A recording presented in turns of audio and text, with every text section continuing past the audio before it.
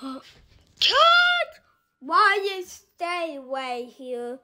Oh, Granby, because she we are of food. We am sorry. We have no idea fetish. Alright, let's take